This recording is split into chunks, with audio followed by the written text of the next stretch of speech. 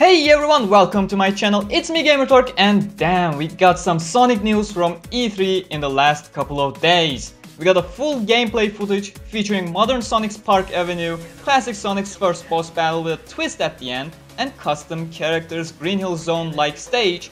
And shortly after, we received a brand new E3 trailer with incredible news. Well, you can see the highlight on the screen right now. You can click on the icon on the upper right corner to watch these, but in this video I will be talking about both videos, analyzing them and afterwards giving my opinion about them. If you are expecting random nonsense like watching the trailer and just screaming or as people who do it call it as reactions, you will have to look somewhere else. I am not here to waste your time with the over-the-top nonsensical screaming. So, let's start with the E3 gameplay footage provided by IGN in full 1080p and 60 FPS. As GameXplain also mentions, the PlayStation version of Sonic Forces runs at a solid 60 frames per second, we're not sure if the base PlayStation 4 runs at 60 FPS as well, considering E3 has PS Pros available, but I think it is safe to assume that it does. Same assumption goes for all Xbox One models as well. Meanwhile, GameXplain mentions that Switch is a couple of steps behind, only running a 30 frames per second version of the game, making it feel slightly more sluggish if you jump from the PlayStation version to the Switch version. I don't think it is gonna be a huge issue if you only played on the Switch though. Their experience seemed more like due to the switch from the PlayStation 4 version to the Switch version. But let's start with the trailer. The footage starts with modern Sonic and again it is the Park Avenue we have been seeing for a while but this time, we can actually see other characters chatting with Sonic over the radio. And these characters include the likes of Vector, Charmy, and even Silver with Sonic mentioning he will find Shadow in no time, so it seems like we are searching for Shadow in Park Avenue. As we come to the section where the initial footage from a while ago was cut off, we get to see Knuckles joining in on the frequency, talking about there being too many Death Egg robots along with Vector. Then we get to see the next area for the first time as Sonic lands in a main square and goes through a loop-the-loop -loop, making the transition from 3D to 2D pretty smooth, where Amy joins the radio and tells us that Shadow has been sighted. I am especially happy with the timing of this radio, since it is a vital information for the story and it is presented to us during the loop-the-loop -loop transitioning so we don't actually have any gameplay elements to concentrate on at that specific moment. Then we get some very traditional 2D modern Sonic platforming sections with platforms, bumpers and poles you can jump on along with a beautiful rail transitioning to the next 2D section where we get to see Sonic do a double jump. So it seems like the double jump from Sonic Colors is a returning element as well, along with tons of other recurring elements and characters. The footage is abruptly cut off as we approach what is possibly the last section of the stage, I mentioned earlier that we would possibly meet Shadow at the end of this stage and thanks to Matt, the owner of Tails channel, sharing a photo from the end of the stage proving that Shadow is indeed waiting for us at the end of the stage, but he might not be there as a friend, which I will get back to once we talk about the E3 trailer after the gameplay section. IGN's gameplay footage continues with classic Sonic in a boss fight against Eggman that has a twist towards the end. It is in the full-on Green Hill Zone without any industrial parts as we will see later on in the next section, but the waterfalls are still flowing with sand instead of water, similar to everything else we've been seeing so far. The boss battle starts off as the iconic Sonic 1 boss fight, Eggmobile with a chainsaw instead of the usual ball, and I really have to give props to Sonic team here with the attention to detail. In the previous footage analysis video I have mentioned that the art style is a little bit more simplistic than the games like Unleashed or Generations, but that didn't stop Sonic Team from giving it care, attention and the detail it needed. Just look at the way the chainsaw swipes from left to right. You can feel the weight of the chainsaw and the way it follows what should be its natural motion rather than just being a simple pendulum like the ball it was in the previous games. Also, pay attention to the times when the chainsaw makes contact with the platforms and the sparkles it creates. I really appreciate them adding these small details. Also, the grass looks absolutely beautiful. Pay attention to the dialogue here as well. It starts with a small banter between Eggman and Tails and I have to say it's a funny little dialogue here, a much better and natural attempt at comedy than the horrible attempts in the last couple of games, so I hope this banter is indicative of how the comedy aspect will be handled in the game. Such power exceeds even my expectations! My own genius scares me sometimes! That means you miscalculate. That's a failure in my book. to surpass expectations is the ultimate of genius! I wouldn't expect you to understand. I do not need to hear Tails building a supercomputer out of detergent and dishwashers. That was that was not comedy. That was just random nonsense. While this here is a nice little jab at Eggman without feeling forced or idiotic. And have a look at the Tails that is speaking right now. It is the modern version of Tails, and this is a classic stage, so it is fair to assume that only classic character in Forces will be the classic Sonic. We also see something interesting during this boss fight. Usually when Sonic gets hit, Sonic himself drops the rings and they are scattered onto the stage for you to recollect them again. But when Sonic gets hit in this video, the rings drop from the ring counter in the UI and do not scatter around the map so you can't possibly recollect the rings. That adds a whole new aspect and difficulty even to the easiest of boss battles since you are left with only one second chance. The idea that Classic Sonic is the only classic character in the game is also reinforced by the next piece of dialogue, but before that, we beat the boss, or at least that's what Sonic Team wants you to think, as the battle transitions into an Egg Dragoon fight immediately. Now, I am not exactly sure how to feel about this. Egg Dragoon has been Eggman's trump card in Unleashed and second to last plan in Sonic Generations, and this fight right here feels like it is undermining both games and Egg Dragoon itself. Though that is my only complaint here as it is a fairly nice twist and still a simple fight fitting to the first boss battle for Classic Sonic. But coming back to the previous argument, Eggman with his next dialogue specifically mentions that Classic Sonic is not the past version of Sonic, but simply a pint-sized Sonic from another dimension. Now, this is pretty interesting since 6 years ago when Generations was released, it was essentially the confirmation that Classic Sonic was the younger version of modern Sonic despite both being technically the same age. This dialogue in Forces directly retcons that and splits Sonic continuity into two, a dimension with classic Sonic and another one with modern, which I believe might be a sign of good things to come, but I can easily make a whole nother video on that and its implications alone, so I'll leave that to rest for now. Back to gameplay, Classic just throws back the rocks at Egg Dragoon to defeat it plain and simple. We also see Classic using his drop dash during the Egg Dragoon fight and the fact that it is really in Forces has been confirmed by Aaron Webber during his time on the IGN coverage as well. At the end of the fight, we hear Eggman saying that he will take care of the whole resistance eventually, and I'm glad to hear that other characters are actually doing something useful in the world as opposed to just cheering Sonic on. Afterwards, for the first time, we get to hear the results screen music for Sonic Forces, which is a variation of the main theme of course. Yes,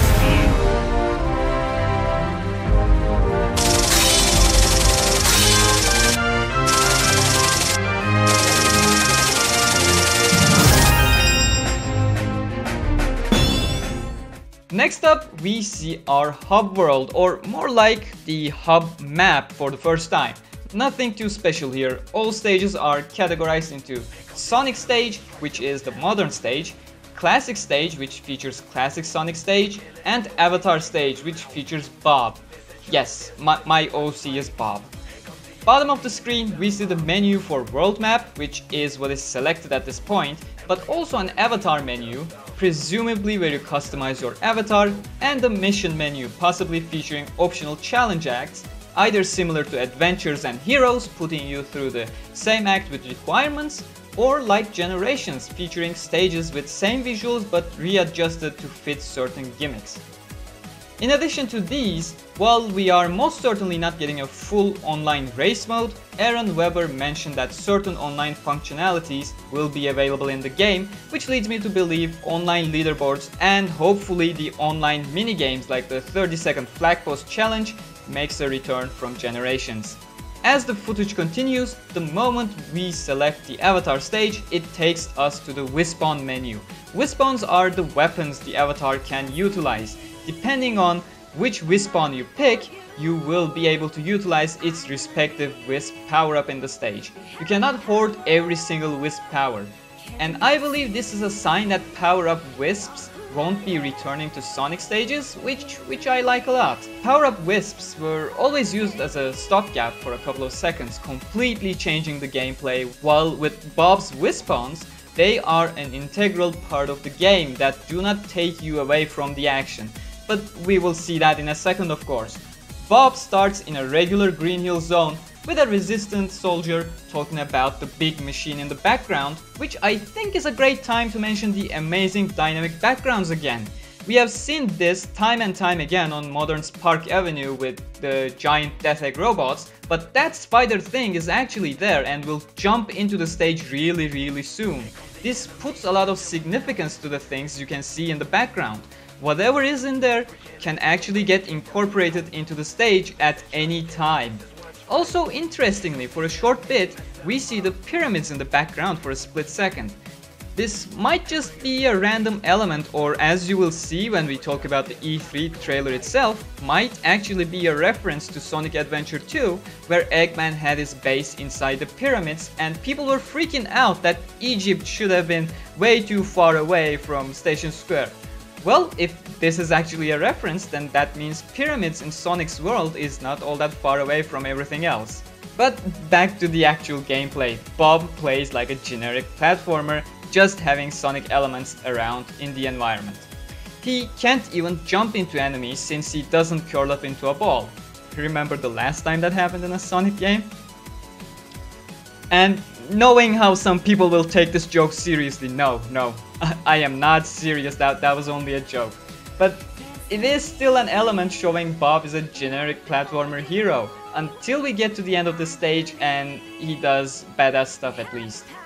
Now, as mentioned in earlier analysis videos, this red Wispon uses Burst Wisp, either as a flamethrower to be used as a weapon or as a burst energy when jumping, similar to how it was utilized in Sonic Colors DS, only when you collect a Burst Wisp. During the stage, other characters are once again heard in the radio, but one thing stands out. As we enter the industrialized part of Green Hill Zone, very reminiscent of Planet Wisp, Silver mentions that we should quote unquote leave the chemical plant to them, which proves that chemical plant is in this world after all. We do not know if Chemical Plant will be a playable stage or not, but Forces is turning out more and more to be what Generations should have been in the first place. And while some people are getting more and more frustrated because of nostalgia, I am really happy about this from a concept standpoint. The fact that this game is utilizing Sonic's history as a franchise thousand times better than Sonic Generations, the game that was supposed to do just that, makes me quite happy. At this point in stage, we also see Bob using his grappling hook and technically to homing attack on the enemies. This stage also features another vocal track to be the background music of another stage. Once again, when Bob gets hurt, he drops rings from the UI in a way that is impossible to recollect. And then, the crab mech confronts us as mentioned by Knuckles, trying to head into chemical plant possibly and we need to stop it. It is essentially a mini-boss with sidestep sections. Bob needs to dodge a couple of pieces of the environment thrown at him and then time is jumped well so that he can get into this awesome action cutscene where he takes down the crab monster and again pay attention to the beautiful grass, just nobody can say this game doesn't look gorgeous. Sonic Team really paid attention to these details.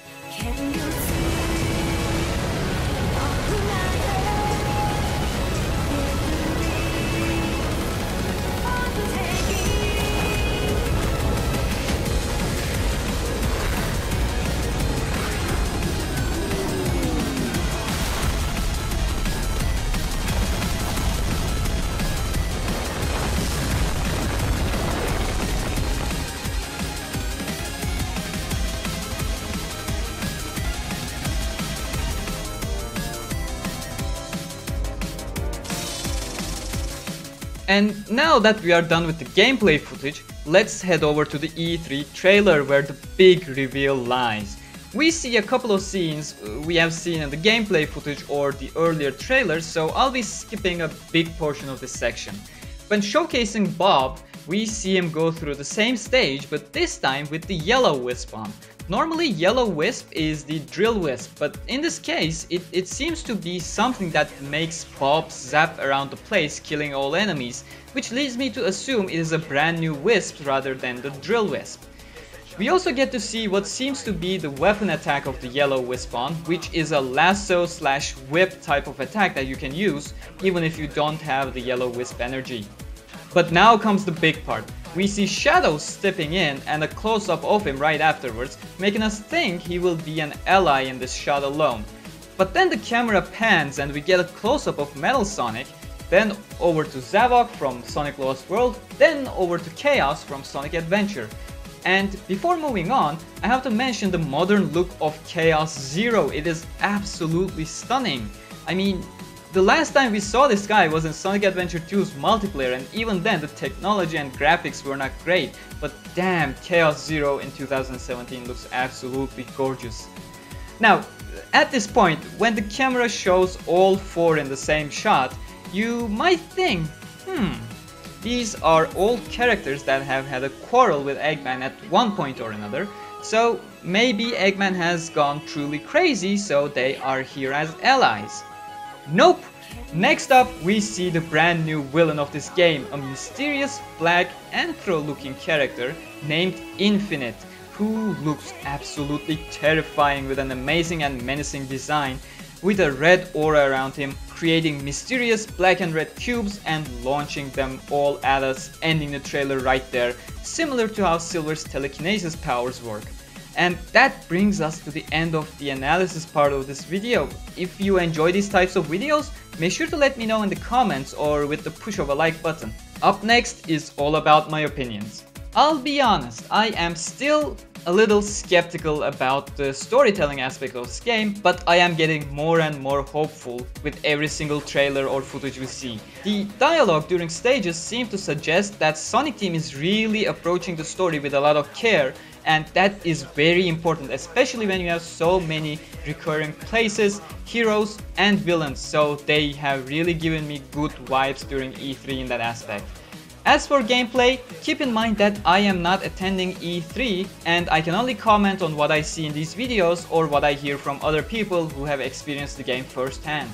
And I have to say I am hyped. Modern Sonic looks like it plays beautifully. One gripe I have with them is the fact that the portion we saw with Park Avenue was dominantly 2D or simple hallways in 3D and that is sadly not my optimal modern Sonic experience and I hope future stages expand upon the 3D both from a 3D to 2D ratio in stages as well as giving the 3D parts a more open feeling like in Generations. If they do that, I can easily see Forces becoming the definitive modern Sonic game. Uh, we didn't see much of Classic Sonic. At, at first I was a little troubled by Classic not being able to collect the rings back when getting hit, but then again, the boss battle was so simple that it was a non-issue in the end. This might not be the case with future bosses though, so I am interested to see how that will be handled.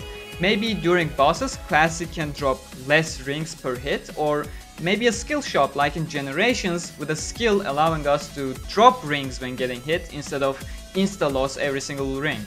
As for Bob, the avatar character, I am not exactly sold on him. As I, as I mentioned throughout this video, he looks like a generic platformer stuck in a Sonic environment doing his best at imitating the conditions of this universe.